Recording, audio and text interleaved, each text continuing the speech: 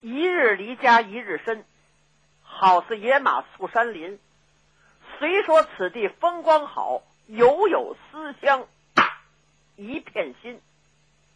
您看，任何人呐，他也不愿离开家。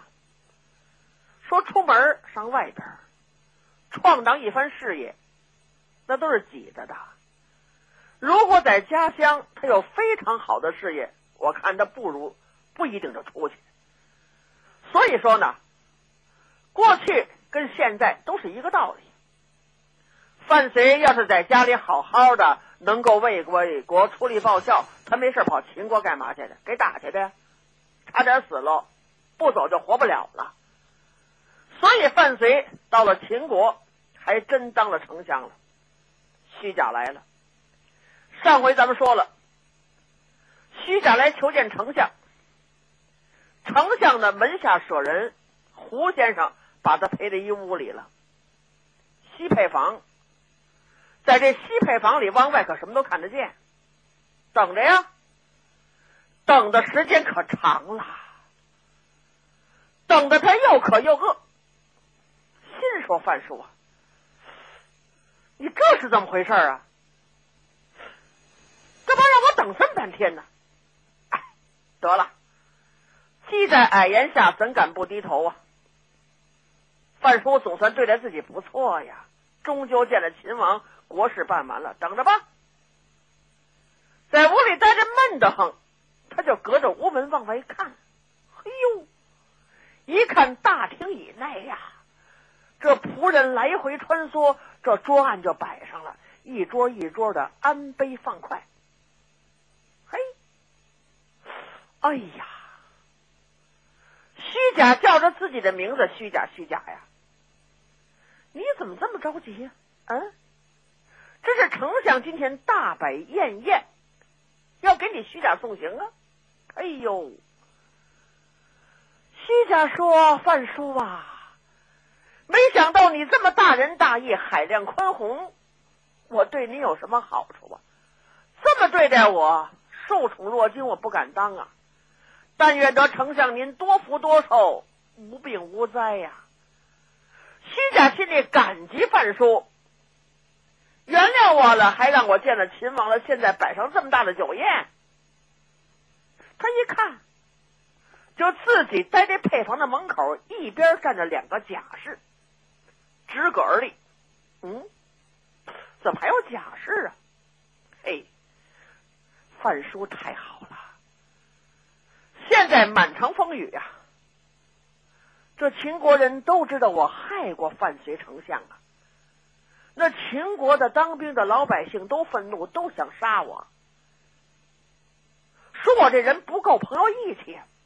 嗯，范随还派几个甲士在这保护着我。哎呦，范随呀，范丞相，你待我越好，我又内疚于心呐，难受啊。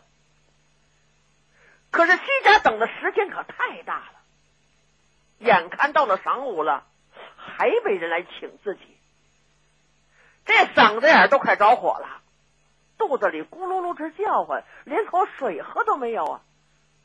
虚假用舌头尖舔了舔自个儿的干嘴唇，往外头一看，酒宴都摆上了，山珍海味、水陆杂陈、鸡鸭鱼肉，应有尽有。这仆从们，哎呦！迎接客人呐，这每个人手里都拿着请柬，快步如飞，都进来了。哎呀，虚假眼泪都下来了，心说：“丞相啊，我不就送给你一件替袍吗？还是旧的，怎么这么对待我？我寝食不安呐！哎呦，早知道我送您皮袄啊！我也不过就是为国派了一个使臣呐。”可瞧着，外边啊，文武官员还有各国的使臣都到了。嗯，徐甲明白了，这是范绥身为秦国的大丞相，一会儿呢，让秦国的文武官员、皇亲贵戚，还有外国的使臣明白明白，我虚假跟丞相是不一之交。嘿，现在范丞相胸宽量大。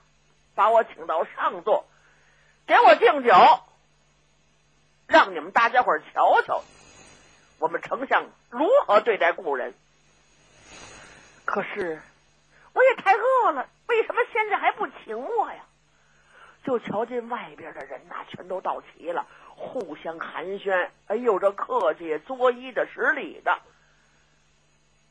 就瞧范随在正座上一坐，是满面春风，笑容可掬。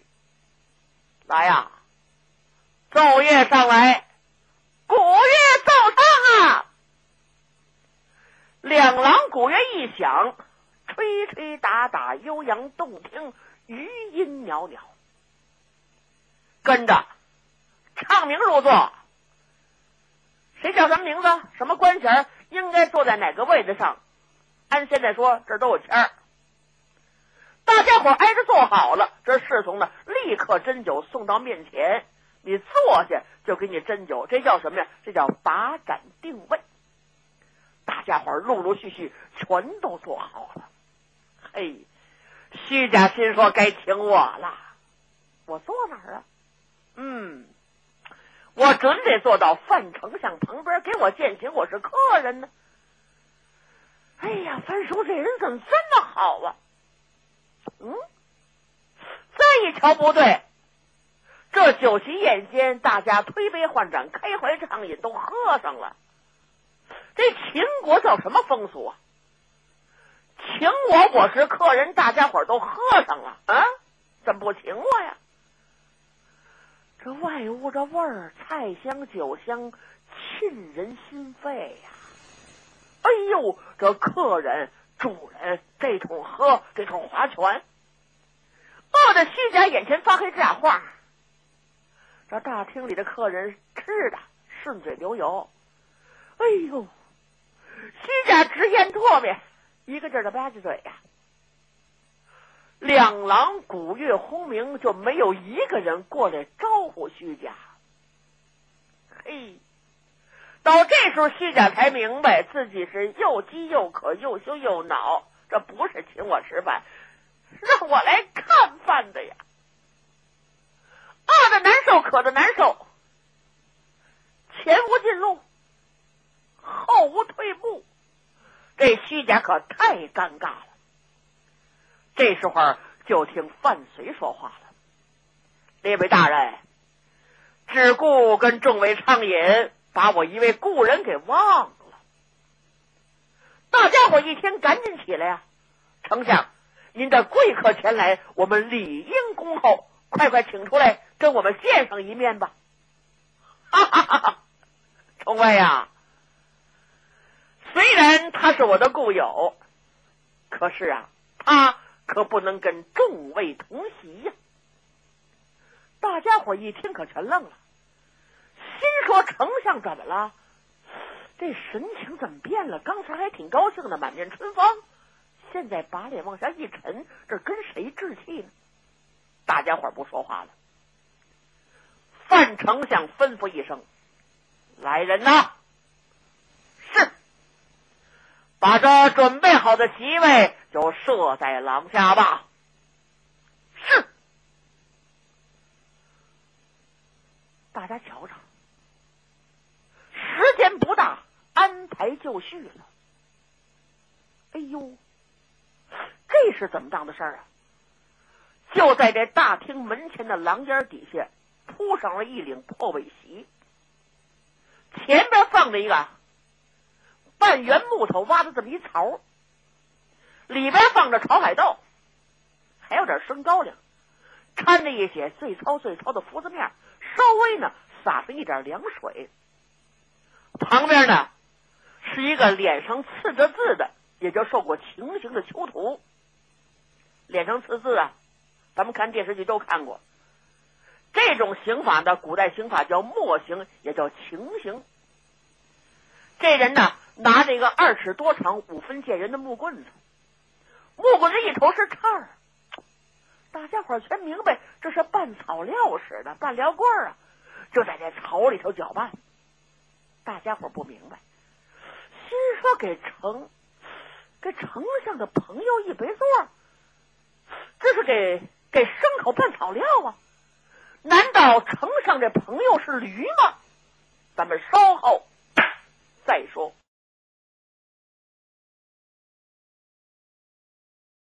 这客人们可全愣了。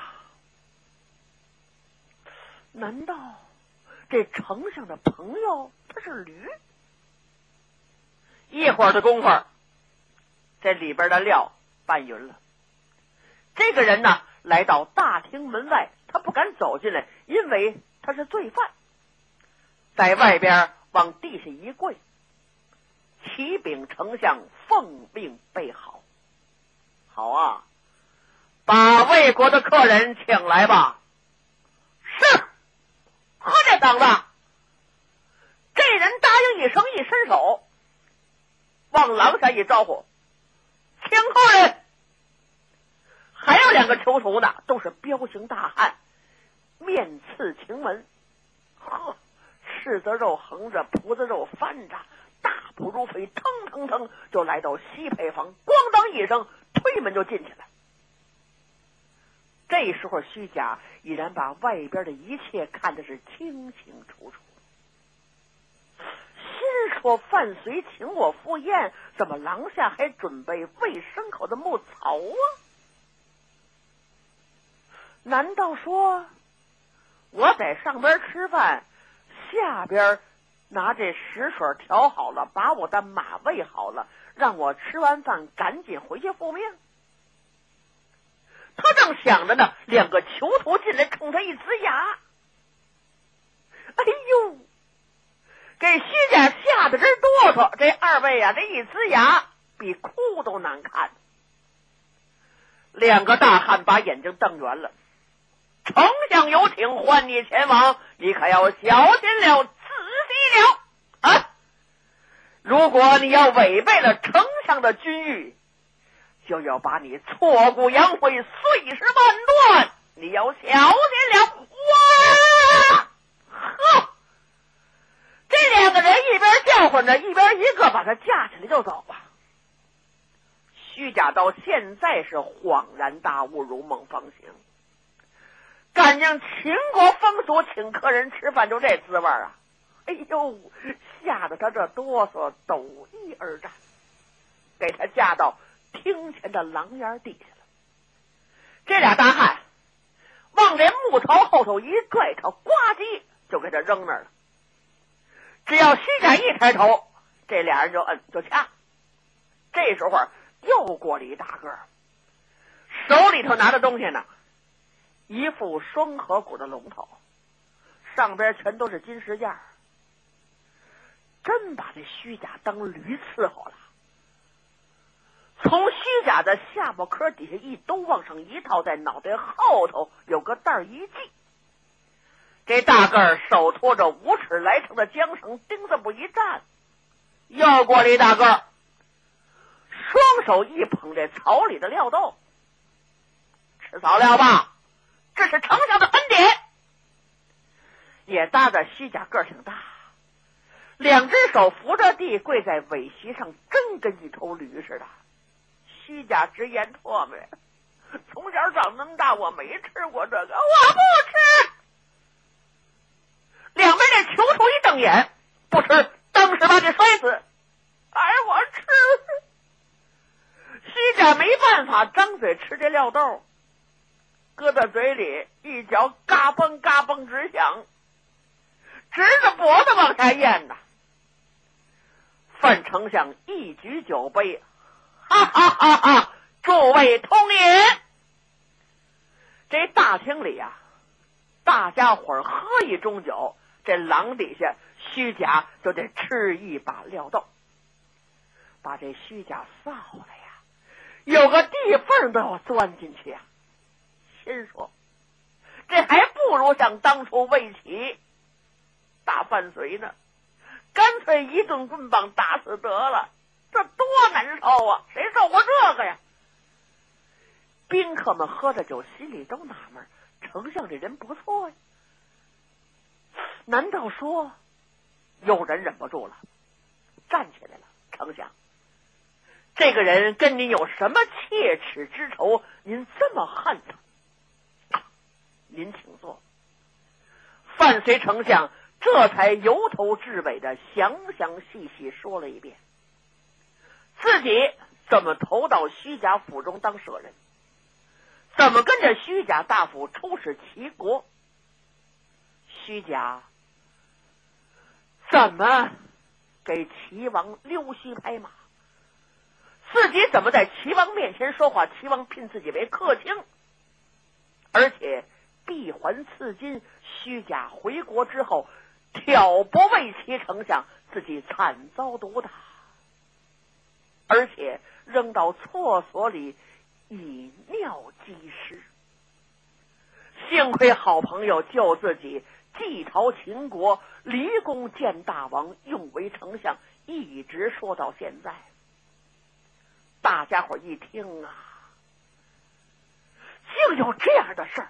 嗯，尤其是说到范绥差点被打死，以为他已然没气了，扔到厕所里，虚假带着人上厕所撒尿了呀，死尸还尿呢。大家伙听着一想啊，是得拿他当驴对待。丞相啊，这种无耻之徒是小人，他是是非人，也难怪你恨他。大家伙你言我语，冷嘲热讽。这虚假这吃料豆的，大冷的天儿，这汗就往下流啊。再说虚假真饿极了，得了吃吧，不吃也不行啊。虚假心里明白，吃料豆带龙头，这比咔嚓一刀杀了舒服的多呀。他不能老让我这吃吧？嗯，只要我能活就行啊。这酒没喝足，这饭总算吃饱了吧？虚假趴在地上不敢仰视。这时候，丞相范随双眉倒竖，二目圆睁，用手一指：“虚假呀，你听着！我听着，我听着！念你越过关山险阻，远路来秦，为的是两国和好，约为朋友兄弟。”告诉你，我家大王虽然许和了，但是我家大王也跟我说了，为其之仇是不能不报。虚假的，留下你这条狗命，你回到魏国，告诉魏王，速斩魏齐之头，把魏齐的脑袋给我送来。再把我家中的眷属送到秦邦，从此两国通好。如果你们要不办呢，本相亲提劲旅杀本大梁，到那个时候你们后悔可就晚了。啊，来人呐，把虚假给我轰了出去！哎呀，吓得虚假是魂不附体，一头碰地。忙向君法外施恩恕臣，罪该万死啊！您饶了我这条命，小臣即刻启程归报魏王。这虚假慢慢的退出了相府，就要上车。这大个子可跟着呢，一蹬这缰绳，哎，等等，是是是。我把龙头给你摘下来吧，不然的话就让你拉车了啊，不让你坐车了。哎，把龙头给摘了，虚假上了车了，立刻传话：快跑！真是急急如丧家之犬，忙忙如漏网之鱼，狼狈不堪，抱头鼠窜。虚假就离开了秦国了。哎呀，他坐在车上。这心里扎的很，真不是滋味啊！欣欣拿我当驴啊！虚假昼夜兼程赶回大梁，回到家中坐着啊，愣了半天没说话。他们家人跟他说话，他都不理。他琢磨，好容易半天他才稍微稳了点神儿。晚上翻来覆去，天快亮了。才算眯瞪这么一会儿，他这心呢就平静不下来呀。到了第二天天明上朝，虚假进午门登殿间，来到宫中，跪倒在魏王面前。大王在上，小臣虚假交旨。这安陵王呢，正惦记虚假出使秦国这件事呢，他怕打仗啊。一看虚假回来，在这一跪，安陵王高兴了，哈哈哈！先请免礼吧，多谢大王。你这次出使秦国，事体如何呀？大王啊！小臣我可不敢隐瞒呐，秦国确实有意伐魏，但是不是出于国仇，这里边有内情啊！小臣此行险些性命不保。他就原原本本的把事情说了，这回可不敢说瞎话了。大王啊，您赶紧把范睢的家眷送到秦国，但是这是小事儿，您必须斩。相国之头送往秦邦，不得迟误啊！倘若要迟误了呀，那范丞相可要亲自提兵而来。大王啊，您赶快拿个主意吧，咱们下回再说。